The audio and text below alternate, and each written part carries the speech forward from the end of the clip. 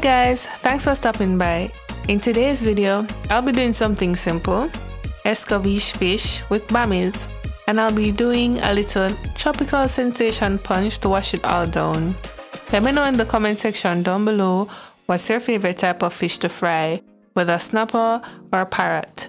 And remember to subscribe and click the notification bell so you won't miss out the next time I post a video. Enjoy!